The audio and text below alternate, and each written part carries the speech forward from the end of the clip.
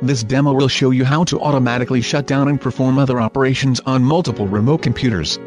It will help you to start applying the best practices of power management to your organization, in order to reduce energy consumption, save costs and make your organization greener. Let's get started. The remote shutdown is a network application that can manage remote computers.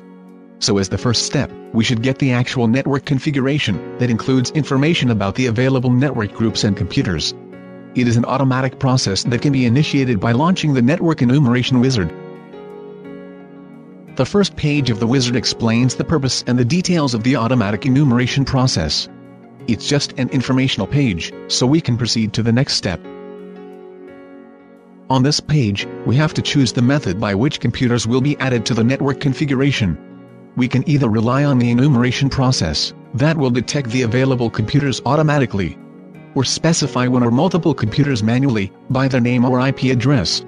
Let's select the enumeration option and go to the next step. This page allows us to select the scope for network enumeration. We can choose either the entire network enumeration, or enumeration of computers that belong to particular workgroups and domains. In this demo, we will only manage computers in few domains. So, we can skip enumeration of other groups, by choosing only the required domains in the list. Good. Now let's click the Finish button to start network enumeration. It's important to remember that network enumeration, as well as other network operations, requires an administrative access to remote computers. If we get an authentication request during the enumeration process, it means that the current account doesn't have enough permissions to access the network group, and we have to enter other credentials in order to enumerate it. Great. Now, the network enumeration continues, and we can track the progress on the status bar. Once the network enumeration is completed, we can see the discovered groups and computers in the network browser. In order to ensure that the enumeration has been completed successfully, we can check the application log. As you can see, it displays the operation status for every computer, and is the right place to find troubleshooting information in case of errors. The recent operation has been completed successfully on all computers, and everything is fine with our network configuration. It is up to date at the moment, so we can manage all these discovered computers remotely. If the network configuration is changed later on, we can easily refresh it by using the corresponding action on the ribbon bar. Good. Now that the network environment is initialized, we are ready to configure a remote task. A list of the available remote actions is represented on the ribbon bar. Let's select the shutdown action. Every remote action can be configured through the Multi-Steps wizard. On the first page of the wizard, we should enter the name of our task. Then define its execution date and time. Good. Let's move on to the next step. On this page, we have to choose the computers where shutdown will be executed. Let's select the required computers and proceed to the next step.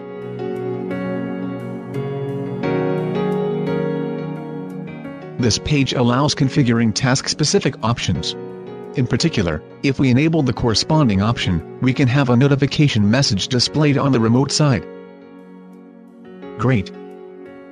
Now let's pass on to the final step. On this page, we can configure various email notification options, but let's keep the default settings and press the Finish button. As you can see, the configured task now appears on the calendar. It means that the task is scheduled for execution at the defined time, and remote shutdown will launch it automatically when the time comes. We just need to wait. It's important not to exit remote shutdown because if it is closed, it will be unable to track the schedule and initiate remote operations. When execution of the remote task is started, we can check its progress on the status bar.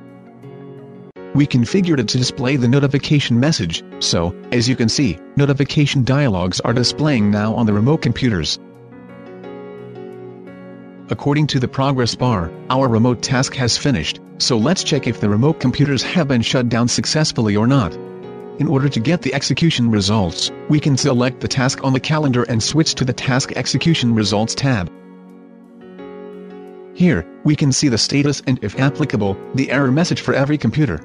According to these results, our task has been executed successfully on all computers. That's all for now. In the next episodes, we will learn how to configure other types of tasks and launch them on a regular basis. Stay tuned.